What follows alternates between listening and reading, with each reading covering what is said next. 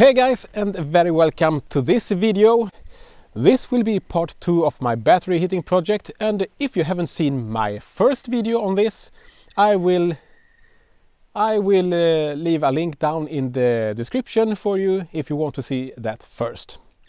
But uh, today I am just going to fill this up with antifreeze. Then I am going to test my heater here and uh, one subscriber to me actually was a little concerned if this pump here will overcome the power loss or pressure loss in the system because we have a pretty long way to pump this um, antifreeze coolant. So maybe this pump won't be enough. Then I have to install another pump. But uh, I will first just try this out and hopefully that will be just fine. Alright let's start this up and as always very welcome.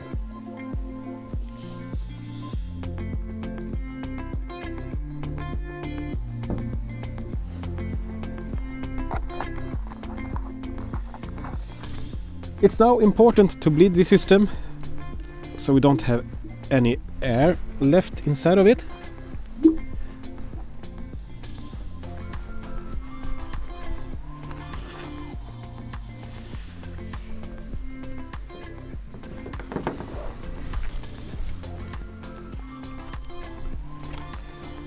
And here are my thermostat that I am planning to use with this system. And here are the temp sensor for that. And this will of course be inside of the battery later on. But for now I will just have it here.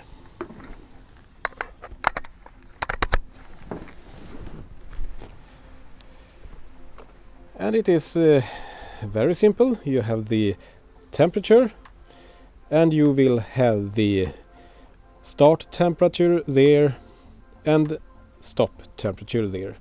So I have set it up to uh, start to heat the battery around 5 degrees Celsius and then turn off at 8 degrees. I will start with that and see if that will be fine.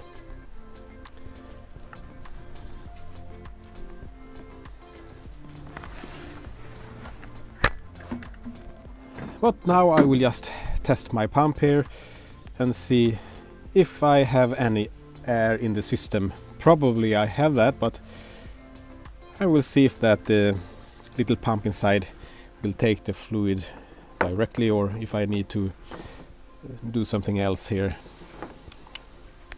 So here we go guys.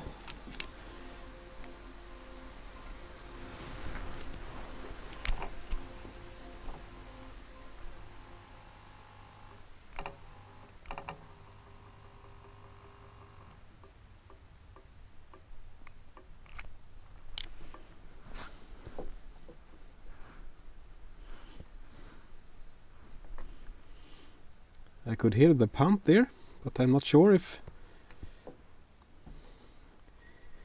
if it will take the fluid.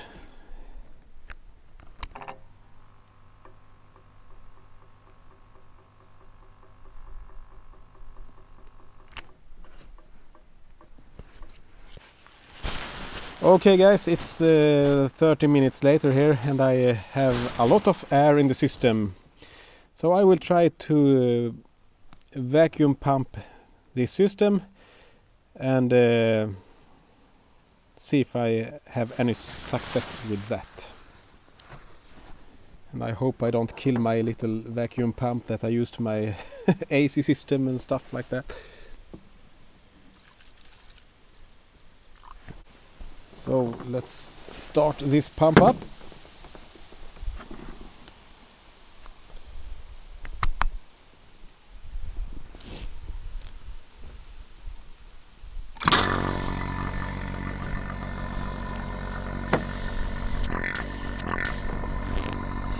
So I will just hold it here and see if I have any success with it.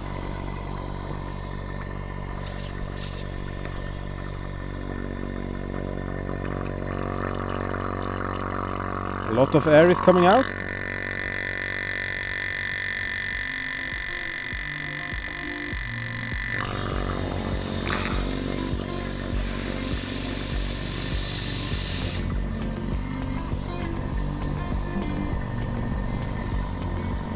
To fill it up again. I don't know if you saw that, but the horses here was was actually pretty flat. Try this again. Maybe I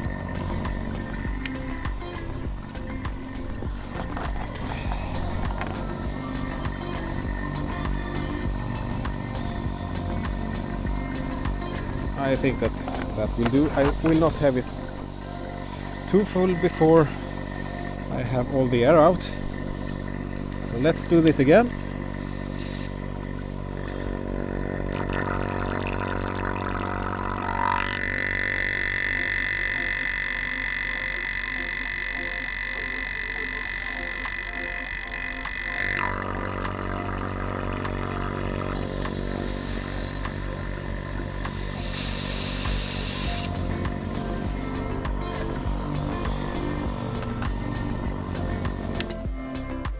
All right. Let's see if the pump will take the fluid now.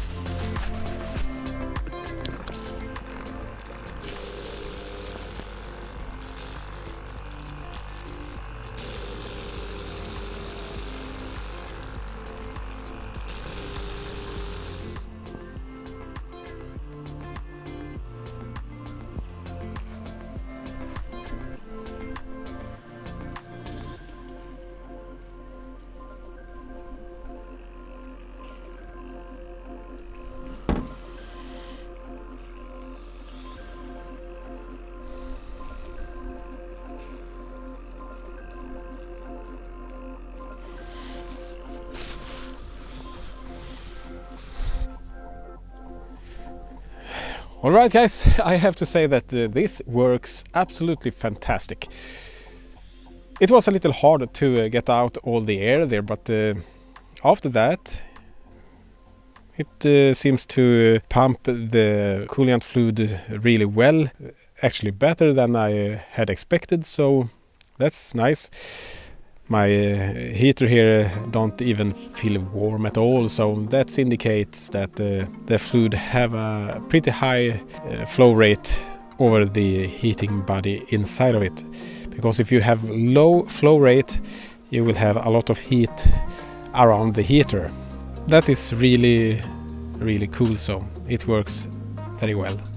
So now I just have to install my temp sensor but that will be later on because now it's getting dark here and it is also a lot of moisture in the air so I don't want to open up my battery and risk to have a lot of moisture inside of it. So I'm going to take that later on, but I think you got the idea here and I have finally tested this and it works just fantastic.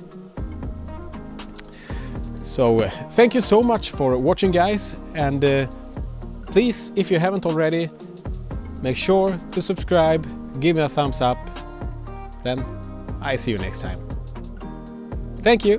Bye.